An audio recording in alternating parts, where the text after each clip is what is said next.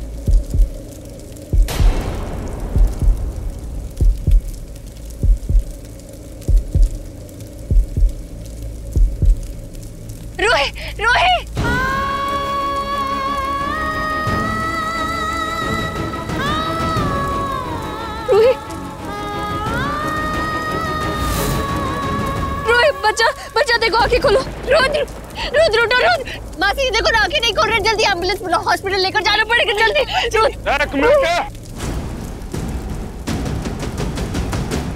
Doctor जी hospital बाद में लेके जाना। पहले यो बताओ कि यो गवैया तुम्हारे स्टोर में क्या कर रहा था?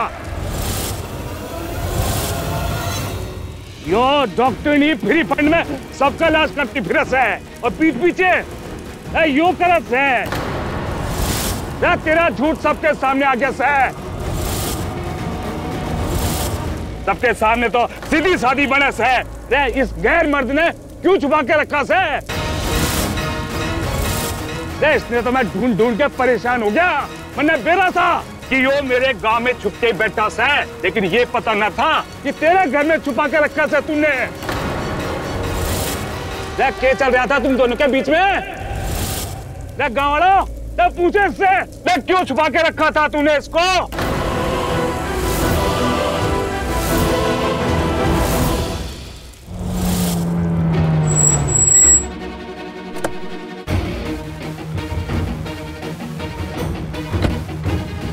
ये क्या? यहाँ पर तो कोई भी नहीं है। उस आदमी ने तो कहा था कि गाँव के सभी लोग यहाँ पर लॉडिंग मना रहे।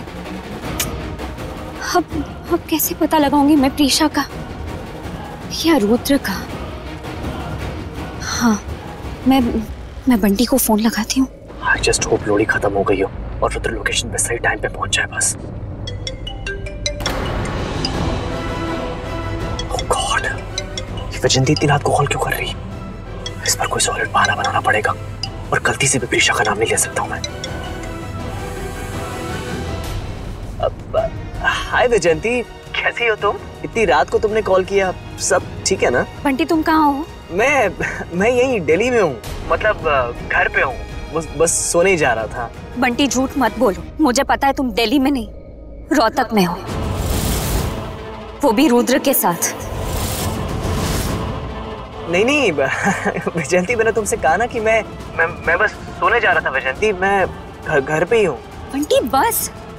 अब और कितना झूठ बोलोगे? मैंने सब बातों का पता लगा लिया है। उसके बाद ही मैं यहाँ आई हूँ रोहतक में। व्हाट तुम रोहतक में हो? हाँ। और तुमसे और रुद्र से मिले बिना मैं कहीं नहीं जाने वाली। मुझे बताओ कि अब तुम? कहाँ हो दोनों? एक्चुअली वैजंती वो बंटी बताओ। देखो अगर तुमने मुझे अभी भी सच नहीं बताया ना तो फिर मुझे मुझे पुलिस की मदद लेनी पड़ेगी। नहीं नहीं अब वैजंती प्लीज़ पुलिस को इन्फॉर्म मत करना। ओके फाइन ठीक है मैं मैं तुम्हें लोकेशन भेज रहा हूँ तुम आ जाओ। ओके आज तो पता लगा कर ही रहूँगी। अब तो बंटी को पता नहीं पड़ेगा कि उस दिन उसने उसने प्रीशा का नाम क्यों लिया? क्यों कहा उसने प्रीशा इतने सालों के बाद? क्या छुपा रहा है वो प्रीशा के बारे में? और ये भी कि कि रुद्र इस गाँव में क्यों रह रहा है? सब गाँव वालों सुनो तुम्हें। यो देवी बन के घूमे से गाँव में, और इसकी सच्चाई यो से। मैंने कई बार देखा इसकी बेटी ने इस गवैये के साथ। अपने प्रेमी से छुप छुप के मिलने के लिए ये अपनी बेटी का सहारा लेती है। रे मैं बताऊँ तुमको, यो गवैया इस डॉक्टरी का यार से। इस दारू बाद में रोज एक लड़की चाहिए।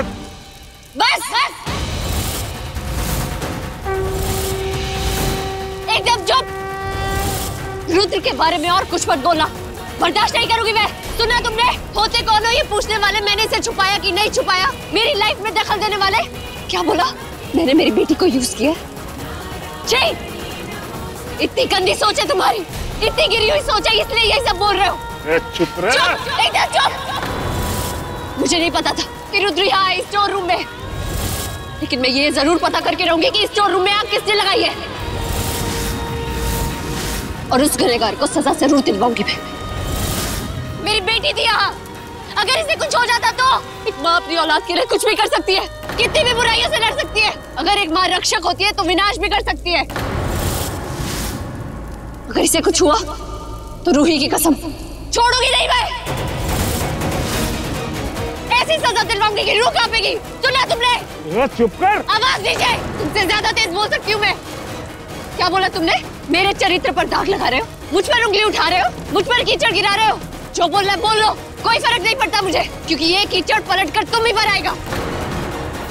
मैं कैसी हूँ, क्या हूँ, ये मैं और मेरा भगवान जानता है। मैं रुद्र को और रूही को हॉस्पिटल लेकर जाऊँगी। हिम्मत है तो रोक कर दिखाओ। अरे कौन आएगा? ये मुखिया, ये तो पहले से इससे दुश्मनी पाल के रखा है। अरे हमेशा मौके ढूंढता रहता है इसे परेशान करने के। कितनी बार तो गुंडे तक भेजे इसने अपने। प्रिया प्रिया एंबुलेंस आ गई है। चल, तू ले चल इनको। कोई नहीं रोकेगा तुम्हें। देखती हूँ मैं भी।